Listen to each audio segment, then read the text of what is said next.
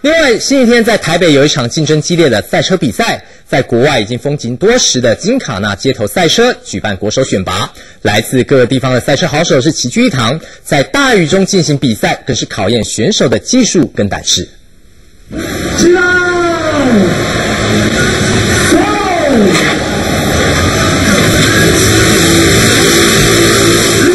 在大雨中进行机车竞速，对一个赛车手来说，不但刺激，更带一点危险。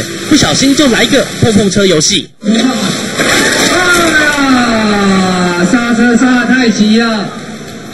今天在台北有三年历史的金卡纳街头赛车进行国手选拔系列赛，四人一组进行五圈赛事，选手个个身怀绝技，不管是直线加速还是压车超越，大家都是卯足全力争取最佳成绩。女生应该比较仔细吧，就是因为因为转弯的话，你有路线呐，对，女生应该想的比较多一点。